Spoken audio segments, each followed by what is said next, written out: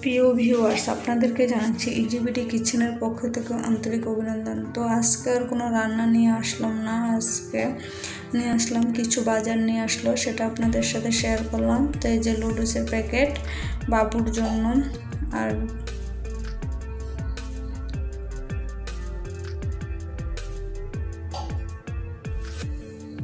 সাবান নিয়ে আসলো, দেখুন, তিনটা তিব্বত। এবং তিনটা লাইফ তো অনেক দিনে আমার চলে যাবে। অনেক দিন চলে যাবে আমার, আর কি কি আনলো দেখা যাক। তো এগুলো হলো তিব্বত বল সাবান কাপড় ধোয়ার জন্য। তো এটা আনলো চার পিস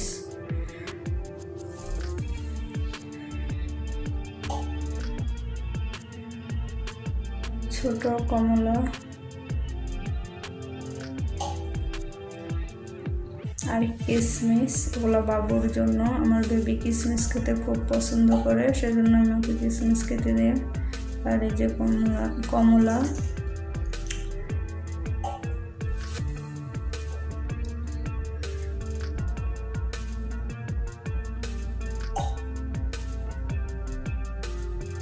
আর আনলো মুরগির মাংস এখানে।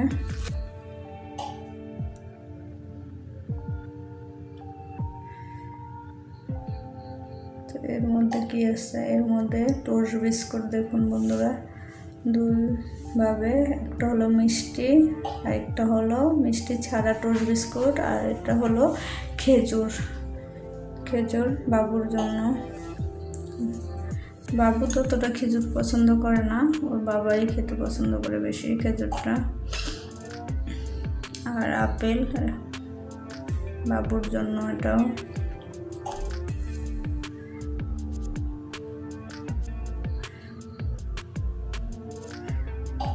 এগুলো আমি একটা ঝুড়ি ভরে সব একসাথে রাখি। অল্প অল্প করে আনা হয়, ফল। কিন্তু বাবু শেষ হলে আবার নিয়ে আসা হলুদের গুঁড়ো আর মরিচের গুঁড়োতে হলুদ মরিচগুলো অনেক দিন আগে বাজারের সাথে আনছিল। আনার পরে আমি রেখে দিচ্ছি তো এখানে এনেছি আর পেঁয়াজ, চালের গুঁড়ো।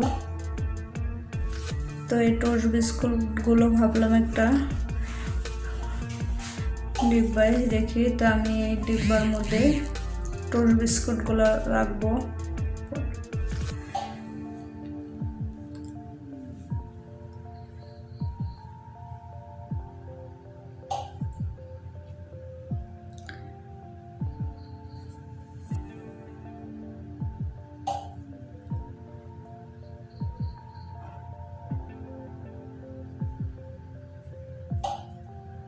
তো আগেরও কিছু টোস্ট বিস্কুট ছিল ওটা এর সাথে একসাথে করে নিলাম।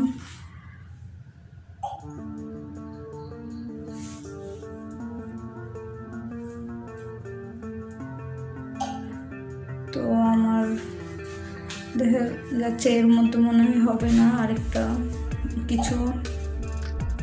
নামিয়ে নিতে হবে না হলে মুখ আটকানো যাবে না, ঢাকনাটা আটকাতে পারব না। তো সেজন্য আমি অর্ধেকটা এই পলিটার মধ্যে নিয়ে নিলাম, কিছুটা এখন মনে হয় ঢাকনা আটকানো যাবে। হ্যাঁ।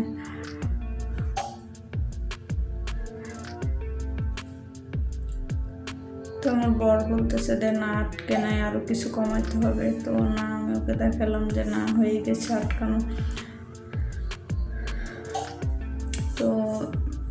ভাবলাম যে বাকি টোস্টগুলো আছে এবং এই পটটার মধ্যে রাখব। তো এর মধ্যে আগের কিছু চিরা ছিল, তো চিরাগুলো ভাবলাম ছোট একটা পটে রাখি। তো এই পটের মধ্যে আমি চিরাগুলো রাখলাম।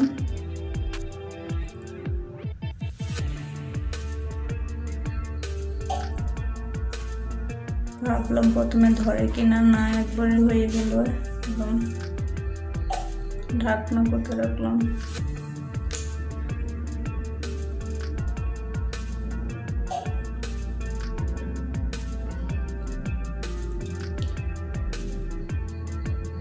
Yeah.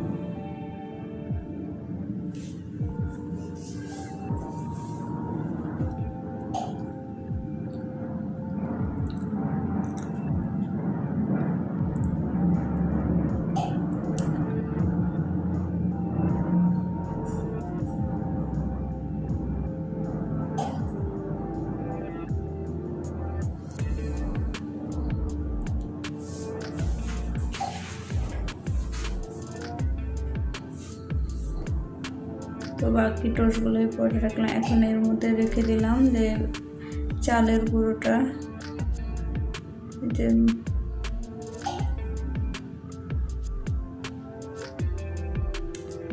যে উল পাউডার, তো দুই কেজির প্যাকেট এটা।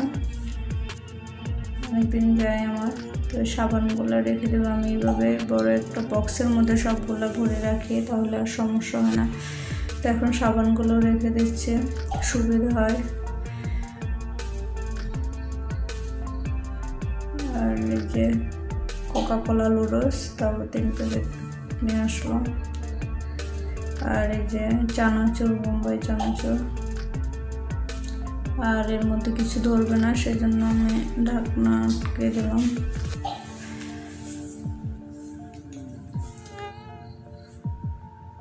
খেজুরগুলো আমি একটা বক্সের মধ্যে ঢেলে নিলাম।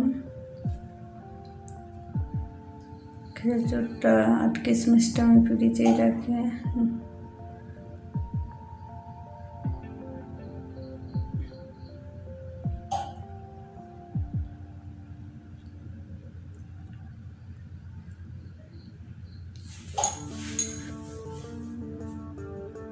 তো এই যে পেঁয়াজ নিয়ে আসলো, পেঁয়াজগুলো একটা ঝাড়ি, ঝুড়ির মধ্যে নিয়ে তারপর একটু ঝাড়া দিয়ে নিলাম, কারণ পেঁয়াজের মধ্যে অনেক সময় একটু ইয়ে থাকে। তেল নিয়ে, তেল।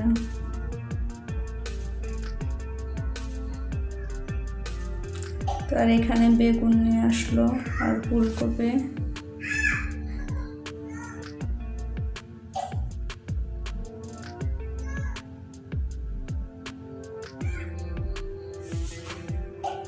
ধন্য পাতা তো এই অবশেষে যে হলুদ মরিচের গুঁড়া এক কেজি হলুদের গুঁড়ো, তো এই অনেক দিন ধরে বলতেছি যে হলুদ মরিচগুলো একটু গুঁড়ো করে নিয়ে আসার জন্য ওর সময় হয় না, সেজন্য পারি না তো আজকে নিয়ে আসলো, তো এই মরিচ আর হলুদ আমি অনেক আগে এনেছে, তো আমি ভালোভাবে শুকিয়ে নিয়ে দিয়েছি। তো এখন ভেঙে নিয়ে, গুঁড়া করে নিয়ে আসলো। তো এখন ভাবলাম একটা বলে ঢেলে দেখছি কারণ এখন তো অনেক গরম, গুঁড়ো করে নিয়ে আসার পর একটা ভাব, পোলের মধ্যে থাকলে একটা ভাব বেরোয়। তো এভাবে আমি রেখে দেব। একটু নাড়াচাড়া করে সারাদিন জন্য রেখে দেব, তাহলে ঠান্ডা হয়ে যাবে। আর আমি রোদে দিব না, তারপরে একটা পটের মধ্যে ভরে রেখে দেবো। বন্ধুরা প্লিজ আমার ভিডিওগুলো যদি আপনাদের ভালো লাগে, অবশ্যই একটা লাইক কমেন্ট শেয়ার করবেন। আর যারা আমার চ্যানেলটি সাবস্ক্রাইব করেছেন, তাদেরকে অসংখ্য ধন্যবাদ।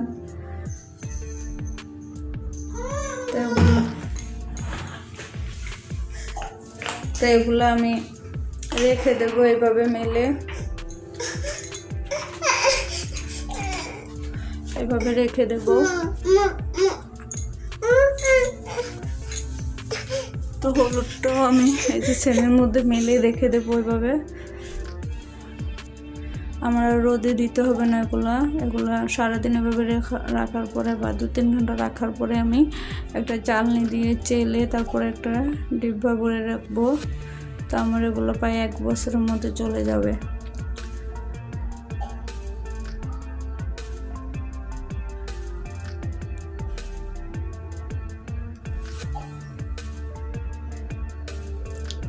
তো সবাই ভালো থাকবেন, সুস্থ থাকবেন। আজ এ পর্যন্ত আবার দেখা হবে নতুন একটা ভিডিও নিয়ে।